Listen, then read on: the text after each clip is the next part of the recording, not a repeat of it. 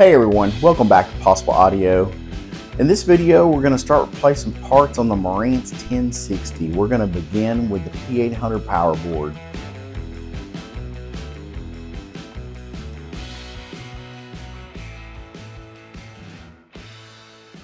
So everybody has their own method to tackling a project like this. Some like to start with replacing the main power cans. Some like to tackle the output amplifier board. Some it may be the phono board. I'm going to start with the P800 board.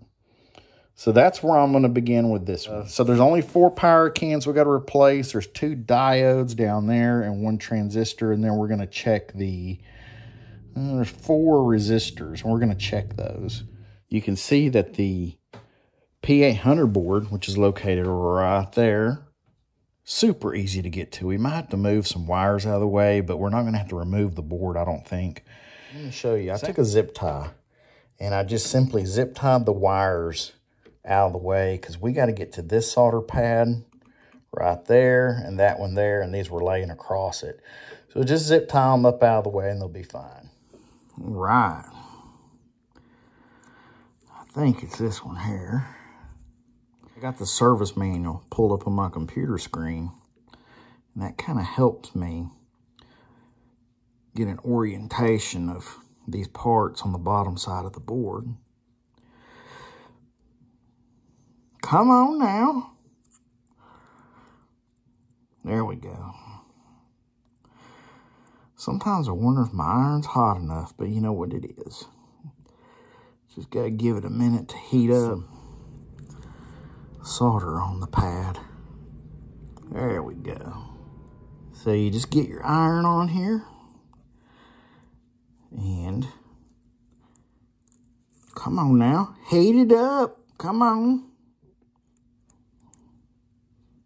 That's it.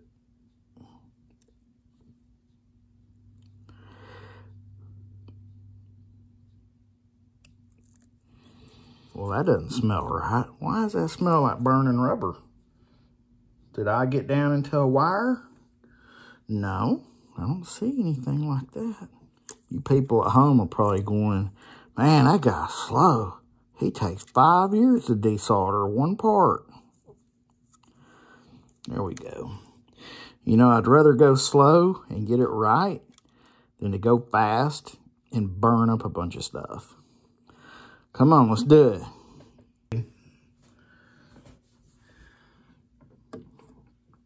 It can still be a little frustrating. They really, see, there we go. Now I got that one coming up.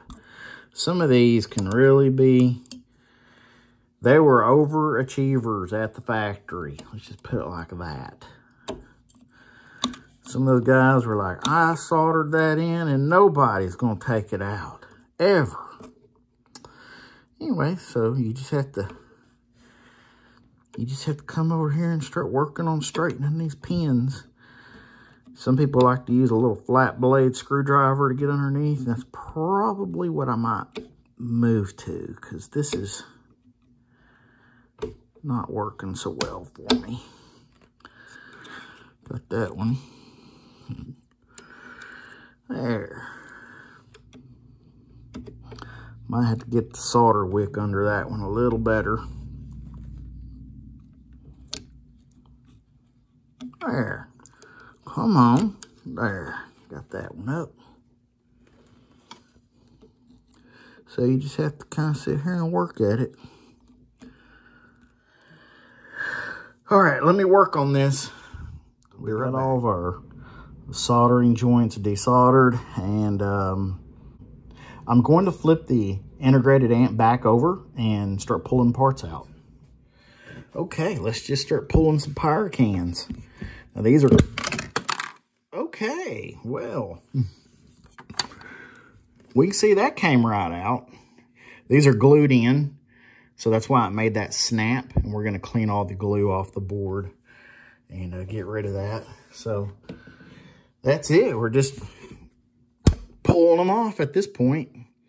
And see, doing a good desolder job and straightening the leads, that makes it a lot easier than, uh, well, these are glued on good. Wow. I'm going to get some pliers after them. There we go. There's that one. See that?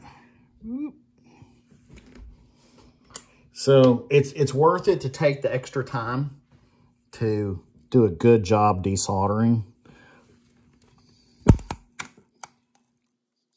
It's less likely you'll damage the board. There we go. There's that one. And our transistor. See, I might have missed a lead on this. It is possible. Come on. Nope, I didn't. There's that. So this feller used a little bit of Klean-Strip with a K, acetone, and I just took a rag and a flat blade screwdriver and I just wrapped it around and just kind of wrapped the rag around the end of the screwdriver just to kind of soften the glue up. And then I would remove the rag and scrape at it a little bit and just kind of went back and forth. It's pretty easy, pretty straightforward. It took 10 minutes. All right, I'm gonna take my multimeter and I'm gonna get in here and check these resistors right quick and uh, compare it with the values in the service manual. And um, I'm I'm betting these will be okay, but if one's bad, we will take care of that. All right, so I tested our resistors and I came up with this list and basically R803 and R804 in the service manual are listed wrong. Um, they should be, um, R803 should be a 27K and R804 should be a 100. The way I know the service manual is wrong is because the resistors have, um, there's a color code for the bands. See the resistors like you see down on the board, there's colored bands on, on, on each resistor. And that's a code to tell you what the resistance is of that resistor. So if the manual says one thing and the resistor is color coded for something else and you test it and what it tests as matches the color code, then you know it's it's good and the manual is wrong. So that's so, how everything looks okay. They tested good. And at this point, I'm going to start uh, populating the board. right here, I just soldered in the two diodes. And they actually connect to those two round ceramic capacitors. But you need a space right here. See, here's the leg on the bottom. You need a space right here. You don't want that connecting, but you want them to overlap with this direction. So you're bending them to overlap both ways right there. See over here, you want this one to overlap inward. And we're just going to create a solder bridge going all across these parts right here.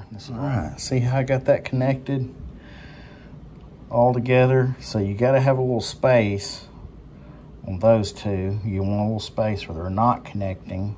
And up here on this one, you're just creating a solid connection all the way across those uh, all the way across those leads. Don't forget, there's a positive and a negative, okay? Don't get these backwards. All right. Now they're not soldered in, but let me show you. I have them, I have the leads bent and trimmed like they need to be. And uh, now I'm just gonna lay this over and solder them all in. And all right, here's our solder work. Power switch is on. Cans are installed with our two diodes and transistor. And as what I've done is I've plugged this uh, into the dim bulb tester. Is what we're looking for is this bulb to flash bright and then go completely dim or maybe even 100% out. And that's what we want. If it goes bright and stays bright, that means we got a short. And that means shut it down and figure out what I did wrong. Um, so let's test it and see what we get. Try to hold this so you can see. Come on now. There. All right, we got power. Got our power light on. This is good. We got no light, and that's what we want. This that. looks great. I'm going to let this sit here for about 15 minutes and come back and check it. And I almost forgot. These cans tested, um, the large can was 17% out of tolerance and the ESR was still good on it. So it was passable, but kind of getting towards the end of its life. The medium size can, it was done. It was over by 22% or so. And the two smaller cans, they were out of tolerance by over 30%. So as these cans wear out, they start acting like resistors in the system. Right, all right. It's been 20 minutes. Dim bulb is still out. There's uh, no smoke, no anything at all. Let's check our temperatures. Let's see what we got here. 77 on the large power can, 70 on the medium size, 68 on the two smaller ones. The diodes are at 71-ish. Yep, 71. I mean, everything is, resistors are cool. I mean, everything on this board is testing out great.